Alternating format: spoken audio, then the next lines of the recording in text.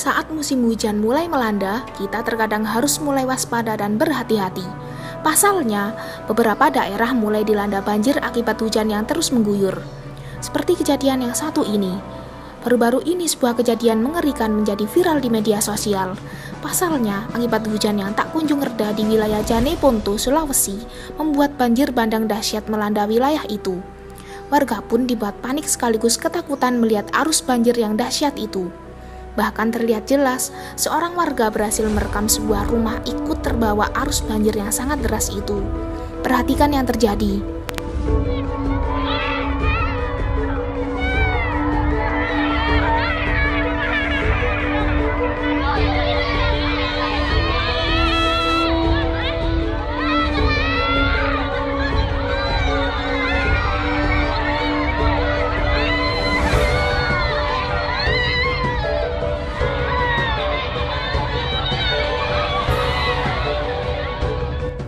Hingga kini debit air pun terus meninggi akibat hujan yang terus melanda wilayah tersebut.